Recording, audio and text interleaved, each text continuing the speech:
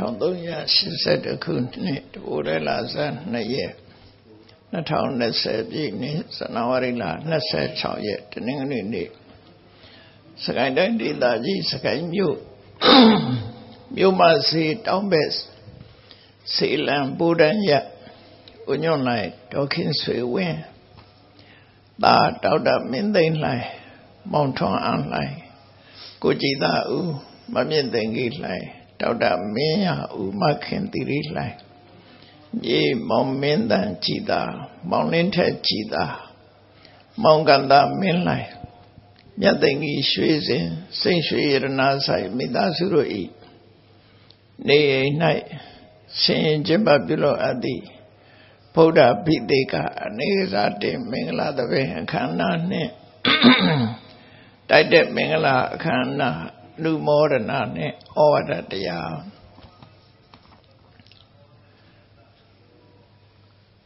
အမလူမျိုးများ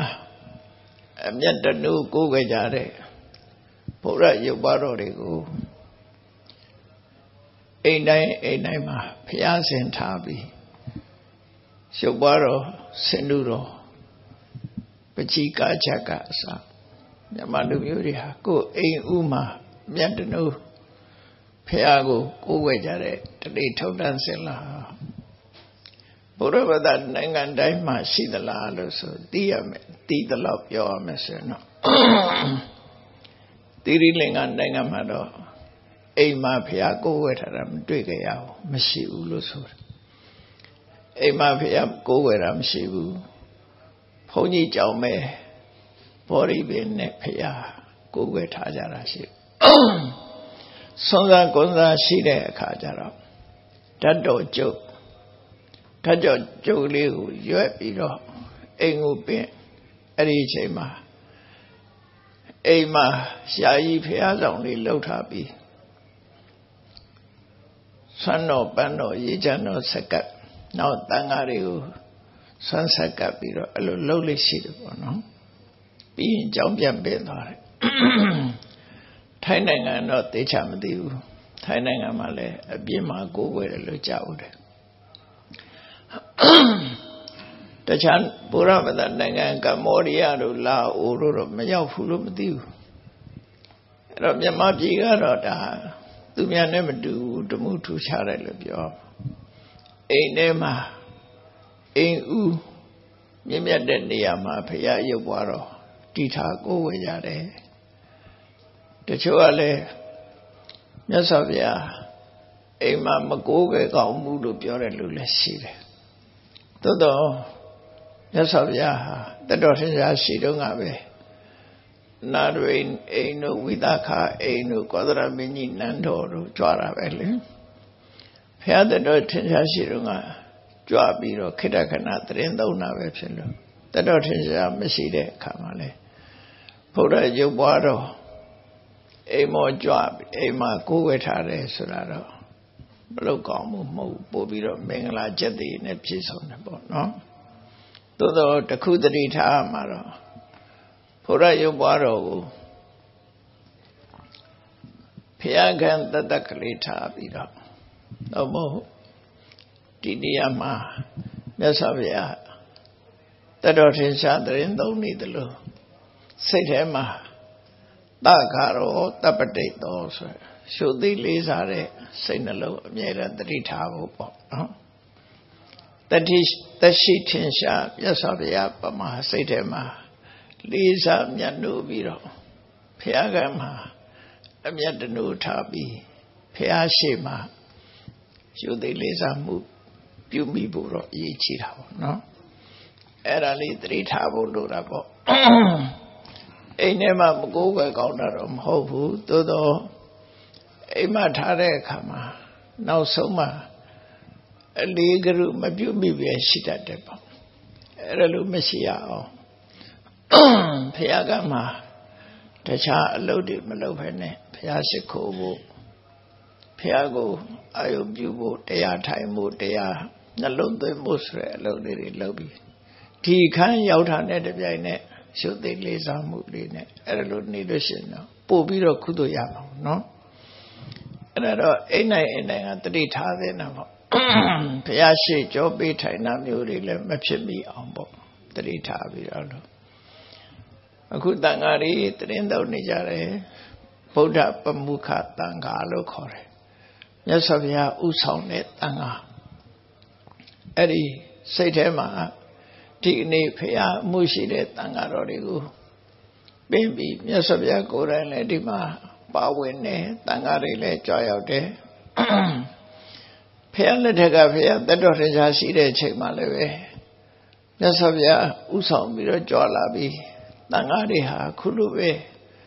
မြတ်စွာဘုရားရဲ့အဆုံးအမတရားတော်တွေကိုရွတ်ဖတ်ကြတယ်ပူဇော်ကြတယ်အယုပြုမဲ့ဆိုရင်တော့ ကြည်နူးမှုတရားတရားတွေဖြစ်ပြီးတော့ကုသိုလ်ကောင်းမှုဖြစ်တာပေါ့နော်ကုသိုလ်ဖြစ်ဖို့မဖြစ်ဖို့ဆိုတာလူတွေမှာယောနိတော်မနတိကာရလို့ခေါ်တယ်ဒီမှန်ကန်တဲ့နှလုံးသွင်းမှုဟာတိတ်အရေးကြီးတယ်အသိဉာဏ်နဲ့နှလုံးသွင်းမှုလို့ခေါ်တယ်သူ wise attention လို့ပြန်ပညာရှိပညာနဲ့ဆင်ញင်သုံးသပ်ပြီးတော့နှလုံးသွင်းတာပြောကိုယ်နှလုံးသွင်းတတ်လို့ရှိရင် ကုသိုလ်ကောင်းမှုဖြစ်တာပဲမြတ်စွာဘုရားလက်ထက်တော်ခါကာလတော့ရုပ်ပွားဆင်းတုဆိုမပေါ်သေးဘူးမပေါ်သေးတော့ဘာလို့တော့ဆိုဘောရိပင်ကအပွေးကလေးကိုယူပြီးတော့အဲ့ဒီမိသားစုကဘောရိပင်ကအခောက်ကလေးပေါ့တစ်ပင်ကအခောက်ကလေးကိုအိမ်မှာအမျက်တနှုတ်ထားပြီးတော့ဖះအနေနဲ့ကိုးကွယ်ကြအဲ့ဒီကိုးကွယ်တဲ့ကုသိုလ်ကောင်းမှုကနေတဲ့ကုသိုလ်မဟုတ်ဘူး တရဏဂုံဆောက်တည်ပြီးတော့အဲ့လိုနေကြတာဆိုတာအပဒ္ဒပါဠိတော်မှာရှိတယ်ပေါ့နော်အဲ့ဒါလို့မြတ်စွာဘုရားနဲ့ပတ်သက်တဲ့အထိတ်မှပစ္စည်းလေးကိုတောင်းမှပဲအမြတ်တနုထားပြီးတော့ကိုးကွယ်ရင်ကောင်းကျိုးချမ်းသာတွေရတယ်တခါတကယ်ရုပ်ပါဆင်းလို့မပါပဲနဲ့တောင်းမှပဲ ဖះလောင်ဟာတခုသောဘဝမှာစိတ်ကူးတွေကအလူပွဲကြီးအဲ့ဒီလူပွဲကြီးကိုစိတ်ကူးထဲမှာပဲမတ်တထိုးစိတ်ကူးထဲမှာပဲပွင့်တော်မူတဲ့ဖះတွေကိုပင့်ပြီးစိတ်ကူးနဲ့လှူခဲ့တာအဲ့ဒါတောင်ရှိသေးတယ်နော်စိတ်ကူးနဲ့လှုပ်ထသေးပဲလေ မြင့်မြတ်တဲ့စိတ်နေသဘောဓာတ်တွေကိုရင်နဲ့နှလုံးနဲ့ရောက်ပြီဆိုလို့ရှိရင်ကောင်းကျိုးချမ်းသာရနိုင်တယ်။ဘာလို့လို့ဆိုဒါတွေကရုပ်ဝတ္ထုနဲ့မပတ်သက်ဘူးပေါ့။ရုပ်နဲ့မဆိုင်ဘူး။စိတ်ဓာတ်ကိုဒီအချိန်မှာကိုကြည်နူးအောင် လုပ်နိုင်ရင်ကိုယ်စိတ်ထဲမှာကောင်းမြတ်တဲ့စိတ်တွေသဘောဓာတ်တွေကိတ်ဝတ်နေတဲ့အချိန်မှာအဲ့ဒီအချိန်ဟာတမိုးရှိတဲ့အချိန်ပဲဖြစ်တယ်ပေါ့ လူစိတ်ကိုတေချာကဲခတ်ကြည့်မယ်ဆိုရင်အားနေဘယ်ဘက်ရောက်သွားတော့ဆိုနော်ကိုယ့်ကိုကဲခတ်ရမှာစိတ်ကအားနေရင်တခုပဲရောက်သွားမအားဘူးဆိုလို့ရှိရင်လည်းလုံနေတဲ့အလုပ်တစ်ခုပေါ်မှာရှိတယ်လွတ်လိုက်တာနဲ့တပြိုင်နက်ဘယ်ရောက်သွားတော့ဆိုကုသိုလ်ပဲရောက်တဲ့စိတ်ကနဲတယ်နော်ကုသိုလ်ပဲရောက်တဲ့စိတ်ကဒါကြောင့်မို့ပပတ္တမိန်ရပတိမနောလို့ပြောတာ အဲ့တော့ကိုယ်စိတ်လေးကိုကောင်းတဲ့အာယုဘက်ကိုရောက်အောင်လုပ်နိုင်တယ်ဆိုတာတကယ်ကိုတမိုးကြည့်ပါတယ်လို့အဲ့ဒါကိုပဲမမကန်နှလုံးသွင်းနိုင်တဲ့ယောနိတော်မနတိကာရနှလုံးထားပြီးတော့ကုသိုလ်ရအောင်နေဖို့ထိုင်ဖို့ပေါ့နောက်တစ်ခါဒီအိန္ဒိမင်္ဂလာလုပ်တယ်ဆိုတာလေနေအသက်မှာ မြတ်စွာဘုရားကိုယ်တိုင်ကြွရောက်ပြီးတော့တရင်သုံးတယ်တန်ဃာတွေကြွတယ်ဖះကိုယ်စားယောဘဆင်နုတော်ပင်တင်ပြီးတော့ကိုယ်ွယ်ထားတယ်တန်ဃာတော်ရှင်မြတ်တွေကမြတ်စွာဘုရားဥရံကျူတဲ့အနေကသတိတန်တရံဂါထာဖြင့်ဖះကိုပူဇော်ပေးတယ်တန်ဃာတွေရောက်လိုက်တာနဲ့တပြိုင်နက်မြတ်စွာဘုရားဟောတဲ့တရားတွေရောက်လာတယ်လို့ဘုရားဟောတဲ့တရားရောက်လာတာနဲ့ ဖះလည်းရောက်တယ်လို့ဖះအစ်စ်လည်းရောက်တယ်လို့ဆိုရမှာ။ဘာကြောင့်လို့ဆိုရင်မြတ်စွာဘုရားကဗုဒ္ဓကိုးစားဆိုတာဘသူထားခဲ့တာတော့ဆိုတန်ဃာတွေထားခဲ့တာမဟုတ်ဘူး။ပုဂ္ဂိုလ်တယောက်ကိုခံထားခဲ့တာမဟုတ်ဘူး။ခုခေတ်ဆိုလို့ရှိရင်အဖွဲ့အစည်းတစ်ခုဟာခေါင်းဆောင်တယောက်မရှိတော့ဘူးဆိုရင်နောက်ထပ်လူပုဂ္ဂိုလ်ခေါင်းဆောင်တယောက် ယာရုဆက်ခံတာရှိမြတ်စွာဘုရားကြတော့ဖရာယာရုဆက်ခံတဲ့ပုဂ္ဂိုလ်မရှိဘူးလူပုဂ္ဂိုလ်အနေနဲ့မရှိဘူးမြတ်စွာဘုရားကဓမ္မနဲ့ဝိနည်းလို့ခေါ်တဲ့သူကိုယ်တိုင်ဟောကြားပြညတ်ခဲ့တဲ့ဓမ္မနဲ့ဝိနည်းကိုပဲဖရာကိုစားထားခဲ့တာဖြစ်တော့ကြောင့်တရားသိပဲနဲ့ဖရာနော်ဖရာမရှိတော့တဲ့နောက်တရားသိပဲနဲ့ဖရာလို့အဲ ဒါကြောင့်မို့တန်ဃာတွေကြွလာတဲ့ဆိုရင်ထိုတန်ဃာတွေကမြတ်စွာဘုရားရဲ့တရားတော်တွေကိုသင်ယူကျင့်မှတ်ဆောင်ထားကြတာဖြစ်လို့တန်ဃာရောက်လာတာနဲ့တပြိုင်နက်တရားရောက်လာတယ်တရားရောက်လာလို့ရှိရင်တရားဟောတဲ့ဖရာလည်းရောက်လာတယ်လို့အာယုံဆက်ဆက်ပြီးတော့ဒီလိုနှလုံးသွင်းရမှာဖြစ်တယ်နော်အဲ့လိုနှလုံးသွင်းပြီးတော့ တရားဆိုဒီမှာမြတ်စွာဘုရားရဲ့အဆုံးအမတွေဖြစ်လို့မြတ်စွာဘုရားရဲ့အဆုံးအမကိုလိုက်နာမှာဖြစ်တယ်ပေါ့ဆေးနဲ့အလားတရံတူတယ်ဆေးဆိုတာမတော့ဖဲထားလို့ကတော့အကျိုးမရှိဘူးပေါ့မြတ်စွာဘုရားရဲ့အဆုံးအမစကားဆိုတာလဲလိုက်နာမှာပဲအကျိုးရှိမိဘတွေကသာသမီကိုဆုံးမတယ်သို့တော့မိဘစကားကိုမလိုက်နာဘူးသူလှုပ်ချင်အောင်လှုပ်တယ်ဆိုရင်မိဘရဲ့ကောင်းဆုံးမတဲ့ စကားရဲ့တန်ဖိုးကောင်းကျိုးချမ်းသာကိုသူရမှာမဟုတ်ဘူးပေါ့အဲ့ဒါလိုပဲမြတ်စွာဘုရားရဲ့တရားတော်တွေကိုကိုယ်တိုင်ကျင့်သုံးမိအောင်ကြိုးစားအားထုတ်ရမှာဖြစ်တယ်အဲ့တော့ဖျားနဲ့ပတ်သက်ပြီးကိုးကွယ်တာဘယ်နေရာပဲကိုးကွယ်ကိုးကွယ်အနေစာတင်းညင်မတင်းညင်နဲ့ပတ်သက်ပြီးတော့လေ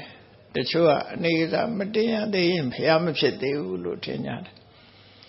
မြတ်စွာဘုရားလို့ရုပ်ပွားဆင်းလို့တော့ထုလိုက်ကြတဲ့ကဖះကိုစားလို့အတိမတ်ပြုလိုက်ကြတဲ့ကဒါဖះလို့ဆိုပြီးတော့ယုတိလေးစားသမုဒိသစ္စာပဲဒီဖះရဲ့ရုပ်ပွားတော့ကိုမပြောနဲ့တဲကလေးစုပုံပြီးတော့တဲပုံစေတီလို့သတ်မှတ်လိုက်တာနဲ့တပြိုင်နက်သူကဒါစေတီဖြစ်သွားပြီနော်သမုဒိသစ္စာဆိုတာအဲ့ဒါခေါ်တာမှန်ကန်တယ် မလေးစားရင်အပြစ်ဖြစ်တယ်လေးစားမှကောင်းကျိုးချမ်းသာရတယ်အများကအတိမတ်ပြုလိုက်တာ consensus လို့အများအတိမတ်ပြုတဲ့အရာသမုဒိသစ္စာသမုဒိသစ္စာအနေနဲ့ဖះဆိုပြီးအတိမတ်ပြုလိုက်တဲ့အချိန်ကစပြီးတော့ဖះရုပ်ပေါ်တော့ကိုတဏိသစ္စာလောက်ချမှာဖြစ်တယ်အဲ့တော့ဖះနဲ့ပတ်သက်ပြီးတော့အာယုံပြုစရာလေးတွေကို ကြည့်ပဲဆိုလို့ရှိရင်မြတ်စွာဘုရားဟာမြင့်မြတ်တဲ့အလုပ်တွေကိုလမ်းဆုံးအမြင့်ဆုံးအဆင့်ထိအောင်ပြုလုပ်ခဲ့တာဖြစ်တယ်။ဘုန်းကြီးတို့တွေဒါနကောင်းမှုလုပ်ကြတယ်သီလဆောက်တည်ကြတယ်အမြင့်ဆုံးအဆင့်မရောက်ဘူး။လန်ခုလက်တယ်အစလောင်နဲ့တွေပဲပြီးနေကြတယ်။ဒါကြောင့်မို့လို့မြတ်စွာဘုရားအဆင့်မရောက်နိုင်ကြဘူး။နော်။ အဲ့ဒါကိုဘုရားကိုချီးကျူးတတ်ဖို့ပါရမီ7ပါးဆိုတာအခုဒီနေ့လှူကြတန်းကြတာလေဒါနပါရမီလို့ပဲခေါ်တာပဲသို့တော့ပါရမီဆိုတဲ့စကားလုံးလေးကတစ်ခါတစ်ခါလမ်းဆုံးပန်းတိုင်လို့အမြင့်ဆုံးအဆင့်ဆိုတဲ့အထိပ္ပယ်အမြင့်ဆုံးအဆင့်ထိအောင်လုံနိုင်ပါလမ်းဆုံးထိအောင်လုပ်တာမျိုးလောကလူတွေက ဒါနကောင်းမှုတော့ပြုတယ်ဒါပေမဲ့အမြင့်ဆုံးအဆင့်ကိုမရောက်ဘူးသီလတော့စောင့်တည်တယ်အမြင့်ဆုံးအဆင့်ကိုမရောက်ဘူးဖះလောင်နေကြတော့ဒါနကလည်းပဲအမြင့်ဆုံးအဆင့်ရောက်သွားတယ်သီလကလည်းအမြင့်ဆုံးလမ်းဆုံးရှေ့ဆက်เสียမရှိလောက်အောင်အထွတ်ထိပ်ကိုရောက်သွားတယ်လို့သူတို့ဆိုလို့တယ်ပေါ့နော်တောင်းတောင်းဆိုရင်တက်လိုက်ရင်တောင်းထိပ်ရောက်သွားပြီရှေ့ဆက်တက်เสียမရှိဘူး ဌာနနဲ့ပတ်သက်ရင်လည်းနောက်ထပ်လုံးဆရာမရှိဘူးအမြင့်ဆုံးဆင့်ထီအောင်ရောက်သွားအဲ့ဒါကိုဗုဒ္ဓအပါဒနာပါဠိတော်မှာဆိုထားတာရှိတယ်ဓတ္တဝါဓာတပကံဒါနံလှူသင်းလှူတိုက်တာဆိုတာဒီမှန်သမျှမြတ်စွာဘုရားလောင်းတော်ဟာအစွမ်းကုန်လှူခဲ့တယ်မလှူဘူးလားဆိုတာတခုမှမရှိတော့လှူခြင်းတန်းရင်မှာ လမ်းဆုံးပန်းနိုင်ထီအောင်ရောက်အောင်လုပ်ခဲ့လို့ဌာနအရာမှာအထူးချုံဆုံးဖြစ်သွားတယ်ပေကံလှူဒန်းခြင်းဆိုတဲ့ဌာနပါရမီမှာအဲ့တော့အထူးသဖြင့်စဉ်းစားကြည့်မယ်ဆိုရင်လူရတတ်နဲ့ဆိုတာမစ္စရိယကင်းစင်ဖို့နဲ့လောဘကင်းစင်ဖို့လို့တယ်အဲ့တော့မြတ်စွာဘုရားကလောဘနဲ့ လောဘနဲ့မစ္စရိယကိုအစွမ်းကုန်တွန်းလှန်နိုင်တာပဲဖြစ်တယ်ပေါ့တမန်ပုထုဇဉ်ပုဂ္ဂိုလ်တွေကတော့လောဘကိုမတွန်းလှန်နိုင်ဘူးမစ္စရိယကိုလည်းပဲအစွမ်းကုန်မတွန်းလှန်နိုင်ကြဘူးဒါကြောင့်မို့လှူတဲ့တန်းတဲ့နေရာမှာလည်းလမ်းဆုံးပတ်နိုင်မရောက်ဘူးလို့ပြောရမှာသီလံပုရိတဝအတေတာတော်ကိုချင်းသီလဖြည့်ခြင်းတဲ့အခါမှာလည်းအကျဉ်းကြံမရှိအောင်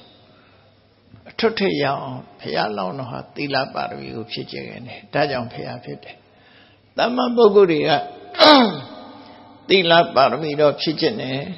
လမ်းဆုံးပန်းတိုင်ကိုမရောက်ခဲ့ကြဘူးထွတ်ထိပ်ကိုမရောက်ဘူးလို့နော်နိခမပါရမီခန္ဓဝပတ္တောတံဘောရိမုဒ္ဓမ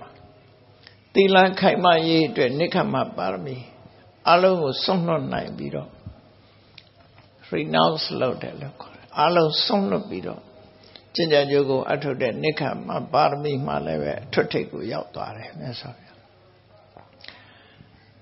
ပဏိတိပရိပု္စိတဝကတ္တဝဝီရိယမုဒ္ဓမတတိလိမ္မာတဲ့ပညာရှင်တွေထံစိကတ်တယ်မေးမြန်းတယ်ပဏိတိပရိပု္စိတဝပညာရှိတွေကိုမေးတယ်ဆိုတာပညာပါရမီထွတ်ထရအောင်လုပ်တာ အဲ့တော့တခုတတိထားဖို့ရအခုခေတ်မှာကိုကိုယ်တိုင်သင်ရမှာကိုကိုယ်တိုင်နားထောင်ရမှာကိုကိုယ်တိုင်စာဖတ်ရှုရမှာပြင်းတယ်ပေါ့တိုးတော့နောက်ဘွားကြတော့လေပညာဓာတ်ဖြစ်ခြင်းတယ်ပညာဓာတ်ဖြစ်ခြင်းတော့ပညာရေးအားပေးတဲ့အလုပ်တွေကိုလုပ်ကြတယ်တကယ်ကပညာပါရမီဆိုတာပညာရေးအားပေးတဲ့အလုပ်ဟာအပြစ်မှန်အလုပ်များတာဖြစ်တယ် ကိုယ်တိုင်ပညာသင်ခြင်းသာလျှင်ပညာပါရမီလို့ပြောတာခုကြည့်ပန္တိတေပြိပု္စိတဝါစာမြတ်စွာဘုရားပညာပါရမီကိုဘယ်လိုဖြည့်တာတော့ဆိုပန္တိတေပြိပု္စိတဝါတတ်သိနေမှတဲ့ပုဂ္ဂိုလ်တွေစီတန်းမေးတယ်ဆိုတာသင်တာပဲဖြစ်တယ်နော်ကိုသင်မှကိုတတ်တယ်ဆိုတာထင်ရှားတယ်ဒါတော့ဝါချတယ်ပညာရေးကောင်းအောင်ထောက်ပံ့နေဆိုတာ condition လို့ခေါ်တယ်အခြေအနေကောင်းတစ်ခုဖန်တီးပေးတာပဲဖြစ်တယ်ကိုယ့်ရင်ထဲမှာပညာမရောက်ဘူးကိုယ့်ရင်ထဲမှာပညာရောက်တယ်ဆိုတာသင်မှရောက်တာလေအဲ့တော့သင်ရမှမပြင်းနဲ့ဘာဖြစ်ဖြစ်ဟိုဖြစ်လေရဘဝမှာပညာတတ်ချင်တယ်ဆိုလို့ရှိရင်ပဏိတေပြိပု္စိတ်တဝါဒါပညာပါတွေကိုပြောတာဘယ်နေရာပဲဖြစ်ဖြစ် ကိုယ့်ရဲ့တတ်သိလိမ္မာတဲ့ပုဂ္ဂိုလ်တွေကိုမေးရမယ်မြန်ရမယ်စူးစမ်းဆင်ခြင်ရမယ်သင်ယူရမယ်မေးတယ်ဆိုတာသင်တာပဲအဲ့ဒါလို့သင်မှကိုယ့်ရဲ့နဲ့မှာပညာချက်ချင်းရောက်တယ်မသိခြင်းနဲ့သိခြင်းကဟိုဘက်ဒီဘက်ပဲသိလိုက်တာနဲ့တပြိုင်နက်မသိခြင်းကပျောက်သွားတာပဲလေအခုမေးအခုအဖြေရအခုသိသွားတာပဲအဲ့ဒါကြောင့်မို့လို့ပညာပါရမီဖြည့်ခြင်းနဲ့ဆိုရင်သင်ညာဖို့လိုအပ်တယ်စာသင်ရမယ် နော်တို့တော့မတတ်တော့ပါဘူးဆိုပြီးတော့ရှော့ပြီးတော့မနေအောင်သင်ရမှာတလုံးတတ်တတ်နှလုံးတတ်တတ်မသင်ရင်နောက်ဘဝပိုးပြီးတော့မတတ်တဲ့အနေအထားမျိုးရောက်သွားတယ်သင်ရမယ်စာပညာဒီမြတ်စွာဘုရားရဲ့အဆုံးအမတရားတော်တွေကိုသင်ယူမှတ်သားဖို့လိုတယ်ဖះလောင်းတော်မှာပညာပါရမီဖြည့်တာပဏိတိပြိပု္စိတဝါဒါပညာပါရမီဖြည့်တာပြောတယ်ကတ္တဝဝီရိယမௌတ္တမံ ဝိရိယပါရမီထွတ်ထိပ်ရောက်အောင်ကြိုးစားတယ်ကြိုးစားအထုတ်တဲ့နေရာမှာသူများနဲ့မတူအောင်ကြိုးစားတယ်ခန္တိယပါရမိန်ခန္ဓဝါပတ္တောတမောတိမௌတ္တမခန္တီလို့ဆိုတဲ့နေရာမှာသိခဏနဲ့သိခဏရဲ့အထိပ္ပယ်ကဒီအလုံးလေးနဲ့တယ်ပြန်မပြောတာနဲ့တင်သိခဏနဲ့လို့ပြောတာမဟုတ်ဘူးเนาะ သိခံတယ်ဆိုတာကိုယ်စိတ်ထဲမှာအနှောင့်အယှက်မဖြစ်အောင်နေနိုင်တာကိုဆိုလိုတယ်ပေါ့ခမှုတဟနေဆိုစွိုင်းတတိတမျိုးပဲသူကစိုင်းတတိတစ်မျိုးဆိုတာကိုယ်စိတ်ဆိုးအောင်ဘလို့လာလှုပ်လှုပ်စိတ်မဆိုးပဲနေနိုင်တာကိုခန္တီလို့ခေါ်တယ်နော်သိခနဲ့ဆိုတာအဲ့ဒီအိဗယ်ပြီးတော့အခက်ခဲတွေကိုဒီစိတ်ထဲမှာ မှတ်တာမမှတ်တာပဲနဲ့ကိုလိုရမယ့်အလုပ်တစ်ခုအာယုဆိုင်တယ်အခက်ခဲတွေကိုကြော်လွှားနိုင်တယ်စိတ်ထဲကသိခနဲ့ဆိုတာဒီစိတ်ရဲ့မူလအခြေအနေဒါမို့အတ္တမနတာစိတ်အခြေအနေပြောင်းမသွားဘူးဥပမာထင်ရှားအောင်ပြောမယ်ဆိုရင်ရေပြင်းထဲမှာဂဲလေးတစ်လုံးချလိုက်ရင်ရေဟာလှုပ်ခတ်သွားမှာနော် လှိုင်းကြရက်တွေထားသွားမှာအဲ့ဒါလှုပ်ရှားမှုလို့ခေါ်တယ်ကိုယ်တရားရောက်ကစောကားလိုက်မယ်ဆဲလိုက်မယ်ဆိုရင်ရင်းထဲမှာလှိုင်းကြရက်တွေထားသွားတယ်ဒါပေမဲ့လူကဘာမှပြန်မပြောဘူးအဲ့ဒါသိခန္ဓာမဟုတ်သေးဘူးလိုင်းခရဲ့မထဘူးဆိုမှသိခန္ဓာလို့ခေါ်အဲ့တော့ဆိုလိုတဲ့အဓိပ္ပာယ်ကစိတ်ဆိုးအောင်လုပ်လဲစိတ်မဆိုးမှသိခန္ဓာဆိုတဲ့အဓိပ္ပာယ်ရတယ်နော်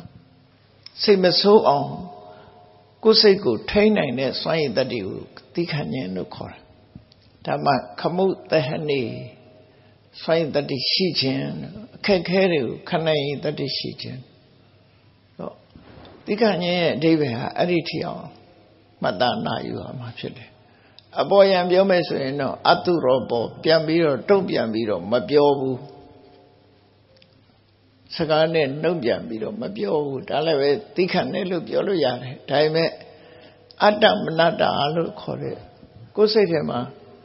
ပင်ကိုယ်စိတ်အနေထားလေးမပြတ်မှသိခမှုဟာထွတ်ထွတ်ရောက်တယ်ပေါ့နော်အဲ့လိုဆိုလို့တယ်ပေါ့အဲ့တော့မြတ်စွာဘုရားဟာသိက္ခာမှုကိုလည်းထွတ်တေရအောင်ကျင့်သုံးသွားခဲ့တယ်ဒါကြောင့်ဖရာဖြစ်သွားတာလို့ကတ္တဝဒဏ္ဍမဒိဋ္ဌာနံ ခိုင်မာတယ်အဋိဌာန်တစ်ခုဒိဋ္ဌာနဆိုတာအဓိဆွဲဆွဲမြဲမြဲဌာနယတ္တိခြင်းကုသိုလ်ကောင်းမှုလုပ်ရင်လည်းပဲဆွဲဆွဲမြဲမြဲလုပ်တယ်လှုပ်ချင်တဲ့ကလှုပ်တယ်မလှုပ်ချင်တဲ့ကမလှုပ်တာမဟုတ်ဘူးဆွဲဆွဲမြဲမြဲဆွဲနေလှုပ်လို့ရှိတယ်အခိုင်အမာလုပ်တယ်အဲ့ဒီနေရာမှာလည်းပဲထွတ်ထိပ်ကိုရောက်သွားတယ်သစ္စာပါရမိပုရိယဒီဂတိတည်တဲ့နေရာမှာလည်းပဲ ဖះလောင်းဟာသိခြင်းသေးပါစေတုဒ္ဒတော်မတို့လိုနော်ဂတိပေးထားတဲ့အတိုင်းသူ့ကိုတတ်ဆာမဲ့ပောရိတာရစီပြန်သွားတယ်လေမရောက်ရောက်အောင်ပြန်သွားတယ်အသက်အသေးခံပြီးတော့သွားတယ်အဲ့ဒါလို့သစ္စာနဲ့ပတ်သက်လာလို့ရှိရင်လည်းပဲအထွတ်ထိပ်ရောက်သည့်ထီအောင်ဖြစ်ကျင်ခဲ့တယ်မေတ္တာပါရမီခန္ဓဝပတ္တောတံဘောဓိမုဒ္ဓမမေတ္တာပါရမီဆိုတာဘသူကိုပေါ်မှာ မုန်းစိတ်မထားပဲနဲ့အကျိုးစီးပွားကိုလိုလားတဲ့နေရာမှာလည်းပဲပုဂ္ဂိုလ်ခွဲခြားမှုမရှိပဲနဲ့အထွတ်ထိပ်ရောက်သည့်ထီအောင်မေတ္တာပါရမီကိုဖြစ်ကျင်ခဲ့တယ်မေတ္တာလည်းပဲပို့ကျင်တဲ့ပုဂ္ဂိုလ်ကြပို့မပို့ကျင်တဲ့ပုဂ္ဂိုလ်ကြတော့မုံဆိုရဲအဲ့ဒီအကန့်အသတ်နဲ့မေတ္တာပို့တာမဟုတ်ဘူးเนาะအလုံးပေါ်မှာရန်သူမိတ်ဆွေမခွဲမခြားတသားတည်းထားနိုင်တဲ့စိတ်ဓာတ်မျိုးနဲ့မေတ္တာပို့တာဖြစ်တယ်အော် မေတ္တာပါရမီမှာလည်းထွတ်ထရောက်တယ်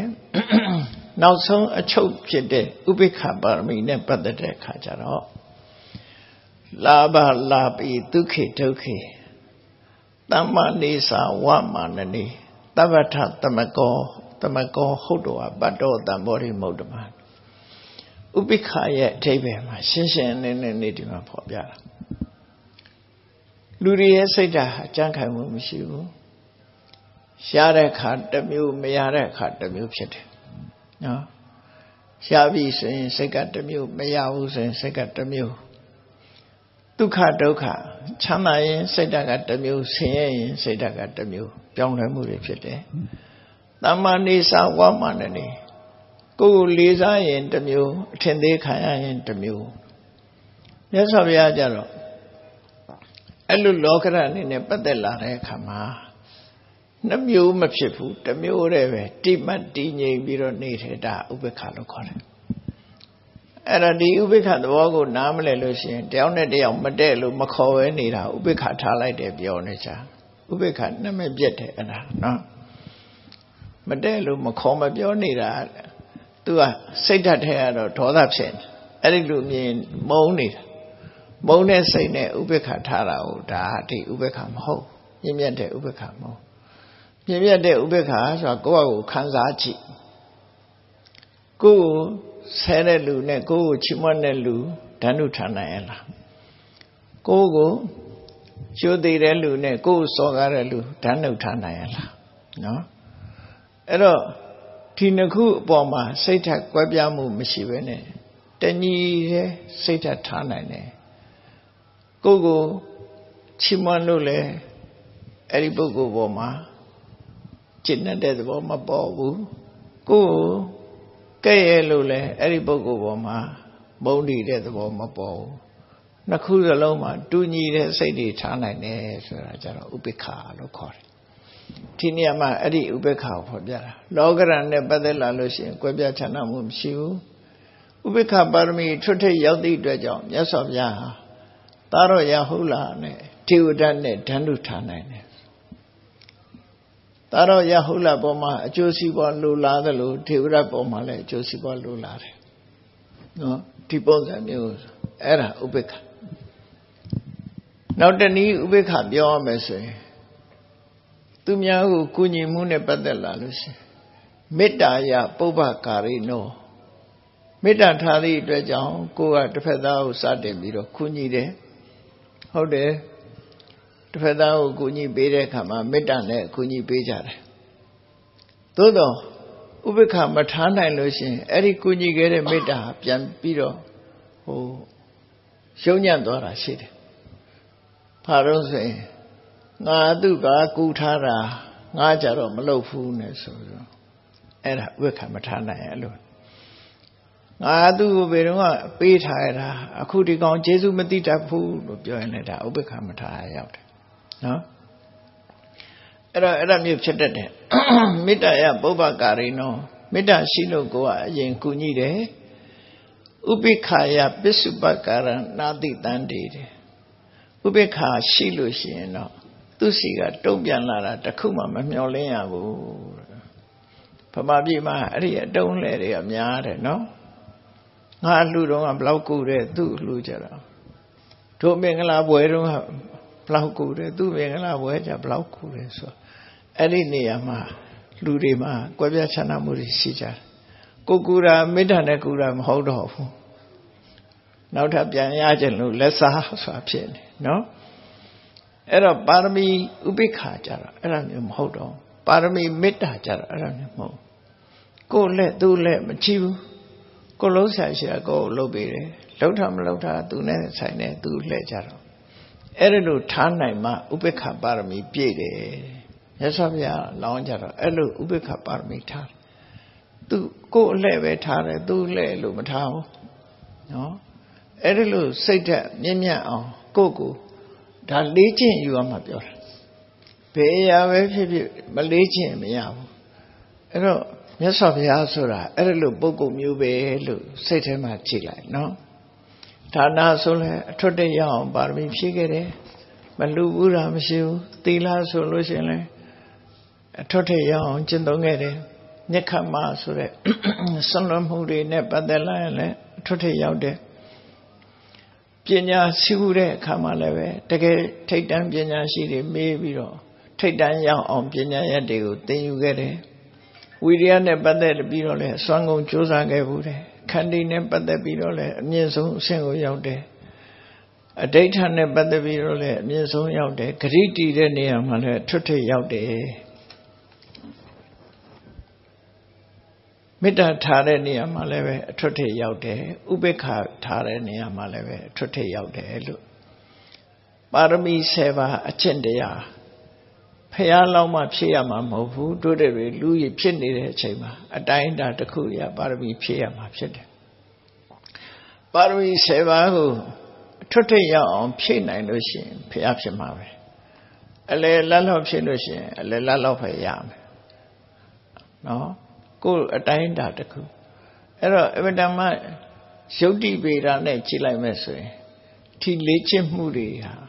ဖះဖြစ်သူဒီလေ့ကျင့်မှုတွေကြောင့်ရောက်တယ်ဆိုတာအည်ချင်းတွေဟာကြံမမကြံတော့ပဲပါရမီ7ပါးကိုဖြည့်ကျင့်လိုက်ရင်အည်ချင်းတွေဟာအကုန်လုံးပြည့်စုံသွားတယ်နော်ဒီစနစ်ရအောင်လေ့ကျင့်လို့ရတယ်ဆိုတာလဲသဘာဝကြတယ်အေးဒါကြောင့်မို့မြတ်စွာဘုရားရဲ့ခုံကျေးဇူးတွေဟာမတန်ကြီးမားတယ်လို့ကိုယ်အိမ်မှာတည်တာကိုယ်ွယ်တယ်ရှုပ်ပွားတော့ကနေဆက်နွယ်ပြီးတော့ဘုရားရဲ့ခုံတွေကိုအာယုံပြုနိုင်ရမှာဖြစ်တယ် ဧဝံအစိန်တိယဗုဒ္ဓဗုဒ္ဓဓမ္မအစိန်တိယအစိန်တိယပတဏနံဝိပါကောဟောတိအစိန်တိယောတဲ့ဖះမြတ်စွာဆိုတာအခုလို့အံ့ဩ၍မကုံနိုင်လောက်အောင်ကြည်ကြမြင့်မြတ်တဲ့ခုသိက္ခာတွေနဲ့ပြည့်စုံတယ်မြတ်စွာဘုရားဟောတဲ့တရားတွေကလည်းဒီစိတ်ကူးကြံစီလို့ မဆုံးနိုင်လောက်အောင်အံ့ဩပဲဂုံကျေးဇူးတွေနဲ့ပြည့်စုံတယ်ဒါကြောင့်ဖះနဲ့ဖះရဲ့တရားတော်တွေကိုဒီအာဩ၍ကုံနိုင်ပွဲမရှိတယ်စိတ်ကူးကြံစီလို့မရနိုင်လောက်အောင်ထူးခြားအာဩပွဲဖះတရားရှရဏသုံးပါးကိုကြီးညိုမြတ်နိုးကြတဲ့ကုသိုလ်ကောင်းမှုကြီးညိုသူတို့ရဲ့ယင်ထဲမှာဖြစ်တဲ့ကုသိုလ်ကောင်းမှုရဲ့အကျိုးတရားဟာလည်းပဲအံ့ဩ၍မကုံနိုင်လောက်အောင် ကြီးမားတဲ့ကုသိုလ်အကျိုးတွေကိုဖြစ်ပေါ်စေတယ်ဆိုတာကိုအကြောင်းအကျိုးဆင်ခြင်ပြီးတော့မြတ်စွာဘုရားရဲ့ဂုဏ်ကျေးဇူးတွေကိုအာယုပြုပြီးအစင်ထာဝရနှလုံးသွင်းနိုင်ကြပါစေကုန်တည်း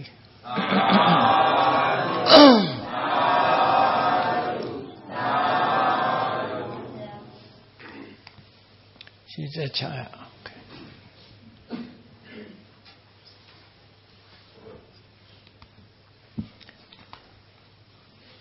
အောင်အရှင်ဖေယဖေယတို့တော်တို့သည်တန်ဃာတော်အရှင်မြတ်တို့ကိုရှုသေးစွာနေအိမ်တို့ပင်ဖိ၍ရှုပွားတော်မြတ်ရှေ့မောက်ဝဲပူဇော်ပွဲတို့ဖြင့်အနေကစား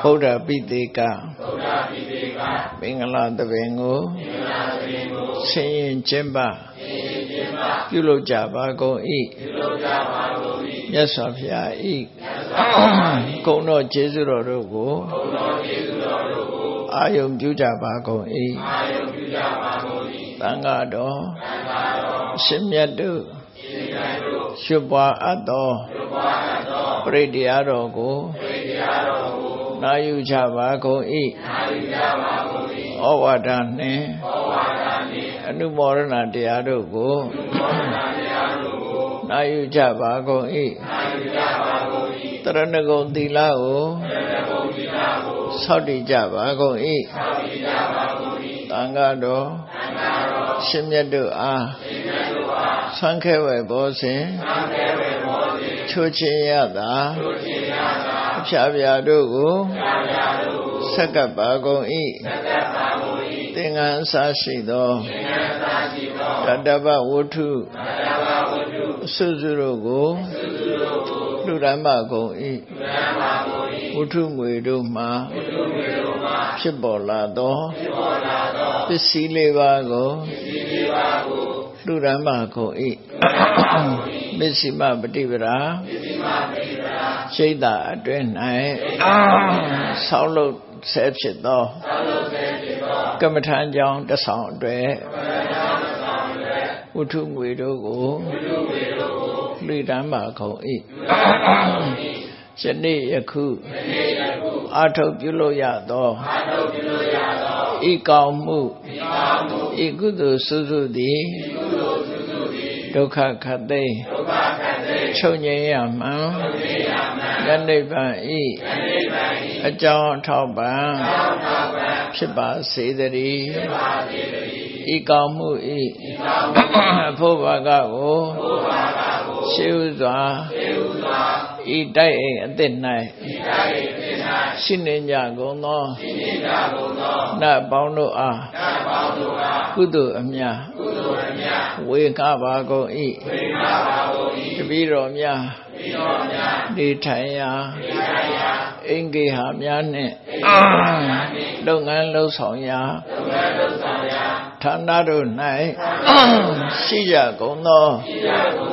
နတ်ပေါင်းတို့အားကုသိုလ်အမြ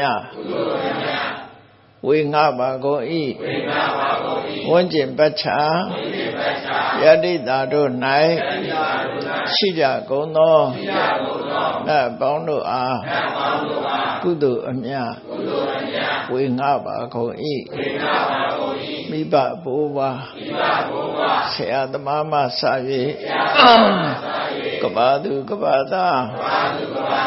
လူနတ်မြမတတ္တဝအမြတ်တို့အားကုသိုလ်အမြတ်